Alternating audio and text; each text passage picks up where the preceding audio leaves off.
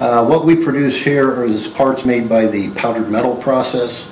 We start out with a raw material, which is steel powder. It is very pi, very fine powder. Uh, We put that in precision dies and compact it from, uh, to about 50% its original shape. And we, we take this material and compact it at tonnages up to 50 tons per square inch of surface area to get the parts to density that is required by the customer. Again, it it is very little material loss. This is a part as, that has been pressed and sintered. It has reached its full strength. We may do a little bit of ma- finish machining on it. Is a very high production process. We can make parts in the range up to 22 parts per minute. Uh, So it is a very high production process.